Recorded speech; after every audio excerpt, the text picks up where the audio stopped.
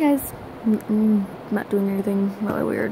Anyway, what should I tell you? Nothing really. We I slept over. We slept over with my, um our friends, and um what else? I can tell that nobody is watching our stuff.